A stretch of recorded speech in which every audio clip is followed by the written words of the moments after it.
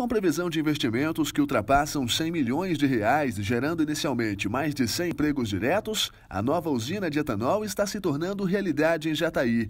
Em uma área estrutural de mais de 80 mil metros quadrados, a empresa que já produz óleo biodiesel, com a chegada de um novo maquinário, passará a produzir também etanol à base de milho, além de gerar energia elétrica. A implementação da planta que a gente já tinha, que era um volume bem pequeno, né?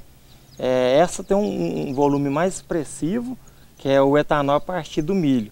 Então, hoje a gente vai trabalhar em torno de das 500 toneladas de milho dia, né, com a produção de 200 mil litros de etanol dia, 150 toneladas de DDG, é, 12 toneladas de óleo de milho dia e 5,5 mega de energia horas.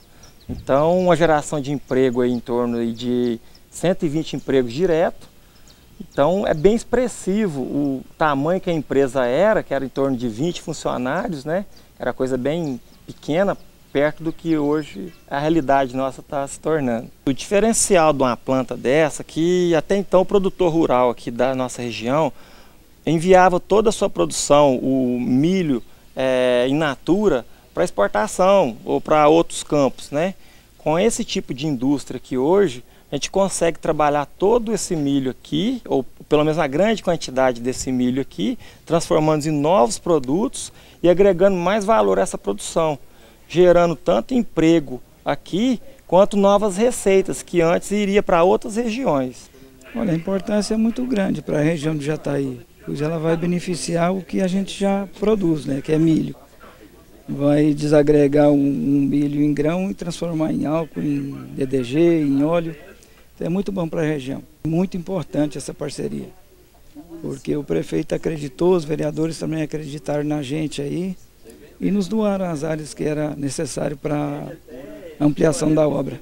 Eu acredito que direto aqui uns 120 empregos, mas direto e indireto há vários empregos ainda. Tem uma nova usina que está para iniciar no próximo ano, 2020. Então o segmento é de, de crescimento. A expectativa é produzir 220 mil litros de etanol por dia a partir do processamento de mais de 500 toneladas de milho e a geração de 5,5 megawatts de energia elétrica com faturamento anual previsto para 165 milhões de reais. Para o prefeito de Jataí, esse é um importante momento do fortalecimento da economia local e a participação do poder público nesse processo é de fundamental importância estaremos agregando mais valor a um dos produtos que nós mais produzimos em Jataí. Né? A gente sempre pregou isso, que é preciso agregar valor à nossa produção primária, para que com isso a gente consiga agregar mais receita girando no município e, consequentemente, aumentando a arrecadação de impostos. Né? Então, no caso aqui, é, serão processados, será processado etanol a partir do milho, né? com isso, como eu disse, agregando o valor.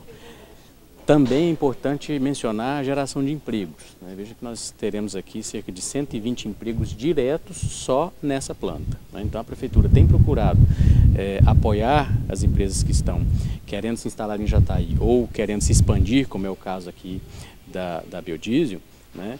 justamente no sentido de, de melhorar uh, no aspecto econômico, né? fomentar é, que as empresas possam ajudar a gerar mais empregos, com isso, consequentemente, gerar mais riquezas no município, gerando mais renda, mais receita, mais geração de impostos. A Prefeitura de Jataí né, apoiou essa primeira etapa aqui com, com a doação de 80 mil metros quadrados é, de área aqui no distrito agroindustrial.